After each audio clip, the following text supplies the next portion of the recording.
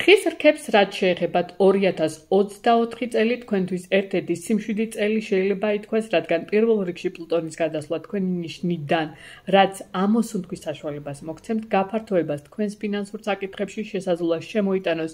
თქვენ ცხოვრებაში ძალიან საინტერესო საკითხები, ამას ხელს შეუწყობს თქვენი მართველი პლანეტა სატურნი თევზებში, გაგიადვილებთ და შანსებს მოგცემთ განახლება, მოახდინოთ თქვენს ყოველდღიურობაში მოგზაურობები, ნაცნობობის წრე გააფართოთ მაისამდე უპიტერი ურანის ასპექტი წამოწევს სიახლეებს სასიყვარულო საკითხებში მომგებიანი საქმიანი საკითხები იქნება აქტიური შეიძლება ლატარიაც მოიგოთ ზოგიერთმა თქვენგანმა მაგრამ დაბნელებები სიფრთხილით მოგიწევთ გაიაროთ წამოწევს პრობლემებს სახლის სამსახურის თემებთან შესაძლოა სამსახურის შეცვლა მოგიწევთ ცვლილებები სადაც იცით რომ შესაძლებელია ეს შეეხება უძრავ ქონებას.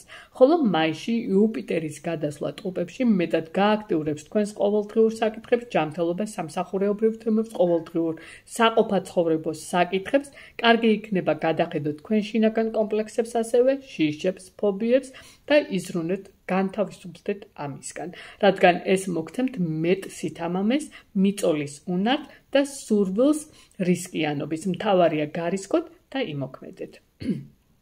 რაც შეეხება მერწყულებს, მერწყულებისთვის 2024 წელი პირველ რიგში პლუტონი 2024 წელს გადადის თქვენ ზოდიაქოს ნიშანში 2053 წლამდე. შემოიტანს თქვენს პიროვნულ დონეზე ცვლილებებს, გარდაქმნებს, ძალიან დიდ ტრანსფორმაციას, გაიძულებთ სუფთა ფურცლიდან დაიწყოთ საკუთარი თავის შეცნობა, შესწავლათ თქვენი ინდივიდუალურობის, იმიჯის, ჯანმრთელობის, საზოგადოებასთან ურთიერთობის კუთხით, ურთიერთობაში ცვლილებები.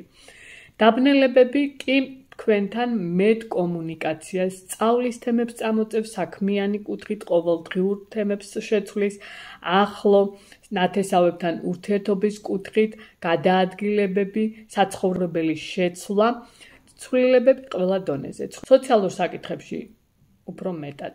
კუროში ურანი მუდმივად გაიძულებთ შეცვალოთ და შემოიტანოთ სიახლეები, რაღაცის გარდაქმნის ფონზე, პანგებლობები ოჯახში, სამსახურში, რაც კომფორტულობას გირღვევთ, ასევე ენერგიის დახარჯვა მოგიწევთ, მაგრამ მაისიდან იუპიტერის გადასვლა ტყუპებში დაგეხმარებათ ახალი მეგობრების, გაცნობის, ახალი სასიყვარულო ურთიერთობების, ფინანსური კუთხით შესაძლებლობებს.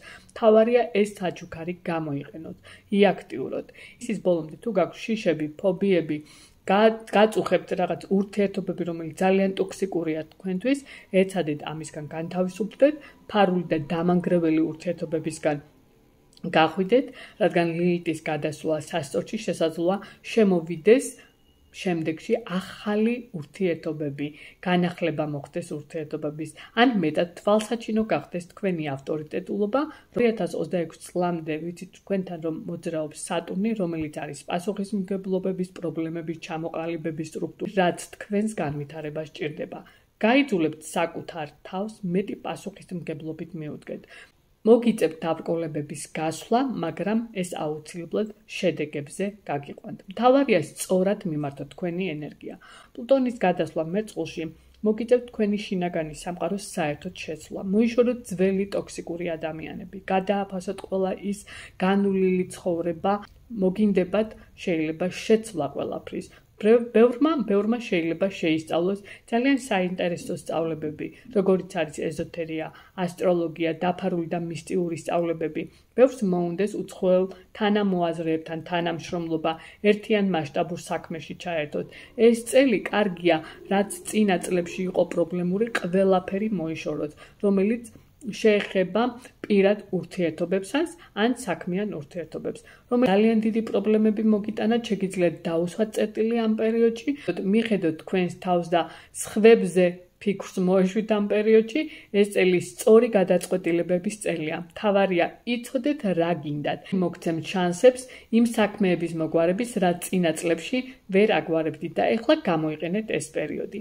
მაისის მაისის ბოლომდე იუპიტერი მოგცემთ შანსებს მოაგვაროთ საქმეები, მოლაპარაკებები საქმიანი კუთხით, მოაგვაროთ საბუთების საკითხები, ვისაც გაინტერესებთ, დაიწყოთ ახალი საინტერესო შესწავლა, ესეც საუკეთესო პერიოდი იქნება ამისთვის, ხოლო როცა იუპიტერი უკვე გადავა ტყუპების ზოდიაქოს ნიშანში, თქვენს სახლს, ოჯახს, უძრავ ქონებას შეეხება ეს თემები, ან შეცვალოთ საცხოვრებელი, ან გაყიდოთ, ან იყიდოთ, დაბნელებები კი თქვენს ფინანსურ საკითხებს შეეხება, დილის ბოლოს ძველ პრობლემებს ისევე თხელ უნდა გადახედოთ, რომელიც შეეხება თქვენს ყოველდღიურ საკითხებს, ურთიერთობებს, ჯანმრთელობას, სამსახურს, თქვენს ინტუიციას და ისე იმოქმედეთ.